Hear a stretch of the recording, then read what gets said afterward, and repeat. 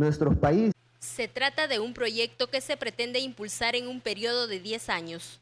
Es el Plan Maestro de Infraestructura El Salvador que fue elaborado por el BID y otras instituciones con el objetivo de generar proyectos prioritarios de infraestructura. El Salvador tiene una oportunidad de expandir el comercio de sus productos con ventajas comparativas, aumentar la tasa de crecimiento económico, proteger sus activos físicos de las amenazas naturales y del cambio climático y fomentar el bienestar y la sostenibilidad social. Las autoridades del gobierno aseguran que este proyecto es sumamente importante y esperan poderlo desarrollar lo más pronto posible. La comisionada presidencial de gabinete considera que el país necesita realizar proyectos como estos para generar una mejor economía. Es un gran paso que porque nos plantea atender las necesidades de bienes públicos en el área económica y social y entre ellas el transporte, la movilidad, el agua, el saneamiento y la energía. El ministro de Obras Públicas aseguró que con este plan maestro se logrará ir mejorando la infraestructura vial